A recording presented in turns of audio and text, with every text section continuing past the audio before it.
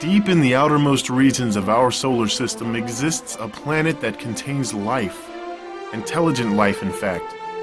This planet is called Nibiru, and its inhabitants are called the Nibiruans, a humanoid species of giants that have existed for much longer than the human race. We know them as the gods of antiquity, the gods of religions. They are technologically, physically, and spiritually advanced to a point that we as humans do not understand or comprehend in our current knowledge of all things. Life began much earlier on Nibiru than Earth. They are advanced by millions of years.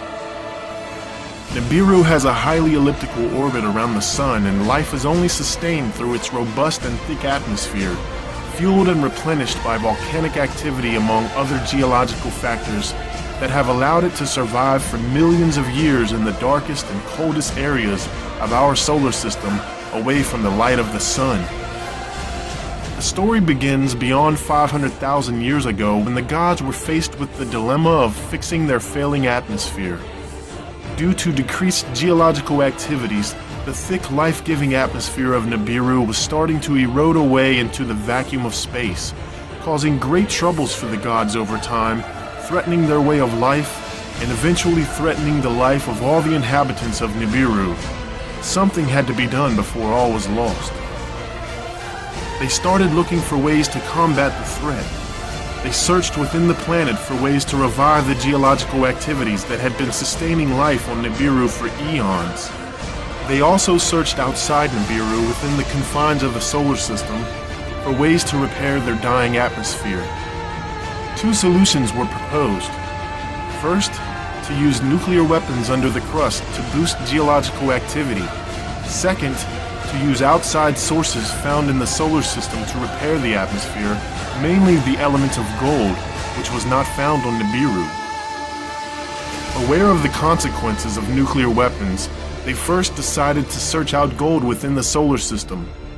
Two areas that gave off the strongest signatures of the presence of gold were the asteroid belt and a smaller signature reflected from an inner system planet they called Earth. They decided to mine the gold from the asteroid belt where it was found to be abundant. Fleets were sent, but the cost was great. Many lives were lost, and the majority of the fleets were destroyed while attempting to mine the ore in such chaotic conditions. With the failure of gold mining, the current king at that period, Alalu, decided to deploy nuclear weapons within the crust in a final desperate attempt to fix the problem.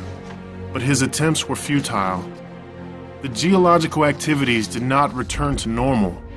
The atmosphere continued to fail, and in all the increasing anxiety of the situation, his rule was challenged by a god who claimed rightful ownership to the throne through blood.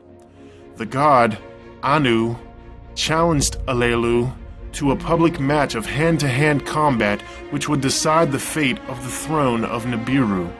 Anu and Alalu fought bravely to the finish, but in the end, Anu was the last one standing in victory.